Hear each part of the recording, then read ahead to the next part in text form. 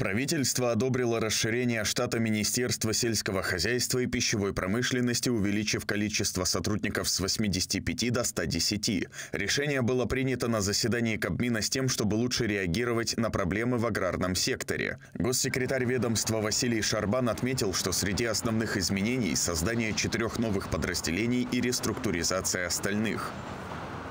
Acum noi creăm și alte subdiviziuni în dependență de necesitățile și obiectivele care și le propune Ministerul. Мы также создадим и другие подразделения в зависимости от нужд и задач, предложенных министерством, среди которых изменение климата, оказывающего влияние на сельское хозяйство, на экономику, что опять же требует другого подхода к развитию алгоритмов, анализа воздействия, где также необходим экономический подход и другое. В отношении безопасности пищевых продуктов будет новое подразделение, которого до сих пор не было.